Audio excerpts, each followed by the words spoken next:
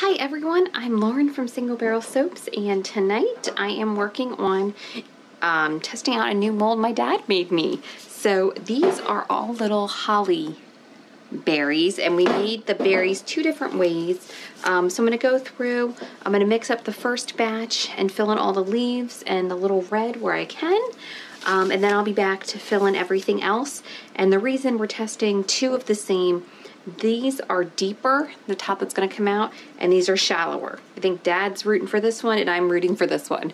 Or that's the ones we think are gonna turn out better. So let's get started.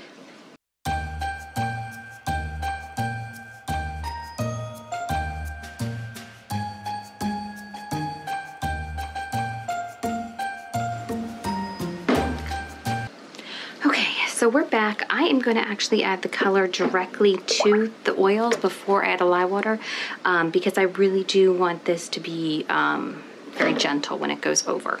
I'm going to do a little more because I do kind of want it to pop, have a good contrast against that. So I'm just going to tap a little more. I'm going to put this away. All right. And this is still, all right, it's setting up a little more now, but I will still pour very carefully with that that'll be pretty good. Now the fragrance oil I'm using does speed up trace a bit, um, so I'm gonna be moving kind of fast.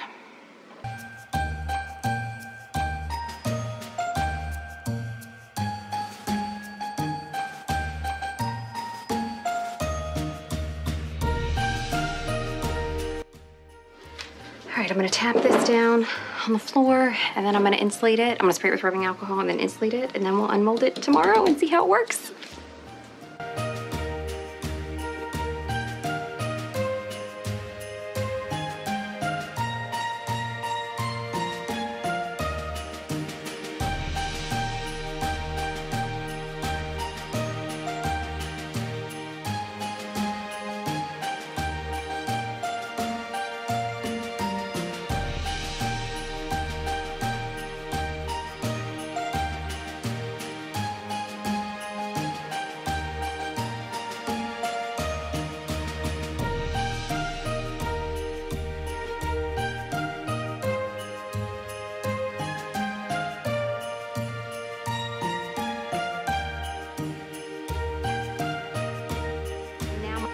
My dad and I designed this with a mix of raised berries and indents. So now I'm gonna hand paint the indents with, I'm using Trial by Fire, red by Nurture. I'm spraying some alcohol in there.